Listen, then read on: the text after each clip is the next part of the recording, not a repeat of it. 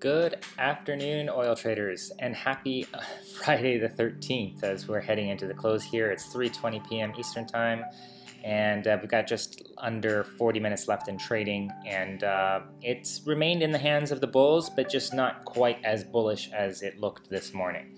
Um, we're off the highs of 51.72. Uh, we never actually got near there um, here in uh, North America. The highest we got was uh, 51.47, and that was, um, yeah, basically that was the highest we got.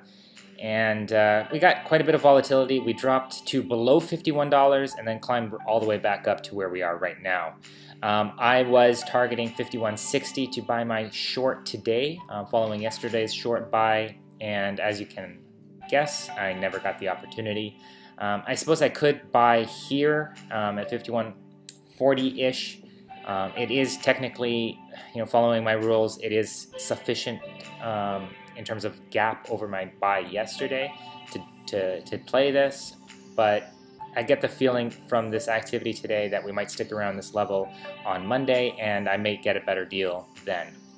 So it's a risk, but um, it's we're near the, the highs in you know here over over $50 crude, excuse me, so I am going to be a little bit more cautious with my short buys. Um, I certainly do regret not getting in on a long position, but um, hey, them's the apples, as they say.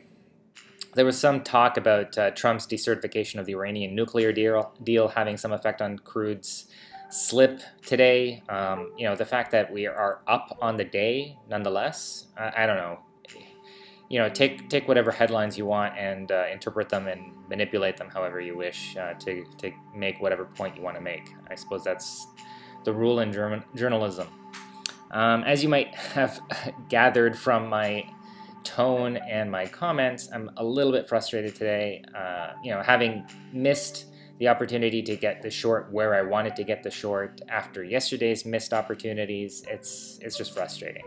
Um, but as I experienced in weeks past, sometimes when I'm feeling frustrated, the best thing to do is just be a little bit more patient rather than creating more regrets. So that's what I'm going to do. I'm just going to hang on, enjoy the weekend, and wait for Monday to tell me if I was right or wrong to wait.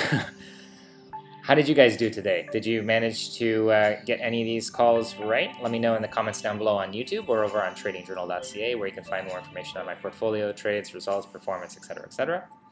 Uh, give us a thumbs up in the meantime, subscribe to stay tuned, and happy weekend. I'll check back with you guys over the weekend to do a week in review as well as my thoughts on the week ahead. And uh, until then, good luck. Cheers.